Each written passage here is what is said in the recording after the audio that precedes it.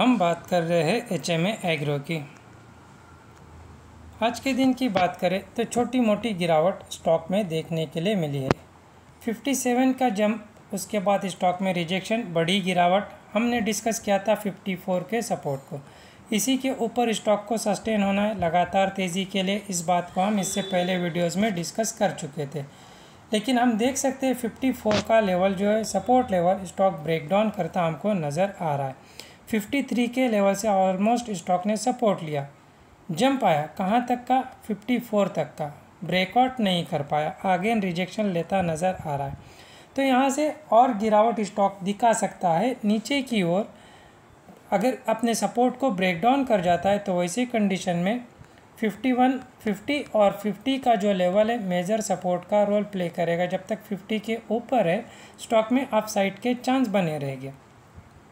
लेकिन आप अगर स्टॉक में जंप आता है अपसाइड दिखाता है तो हमको अवेयर रहना है, क्योंकि हम देख सकते हैं इससे पहले भी स्टॉक ने हमको जंप दिखाया। लेकिन अगेन गिरावट के साथ लो और लो चार्ट पैटर्न देखने के लिए मिला था। तो इसीलिए अब थोड़ा सा हमको यह इंतज़ार करना ठीक रहेगा, या फिर इससे दूर रहना ही ठीक रहेगा।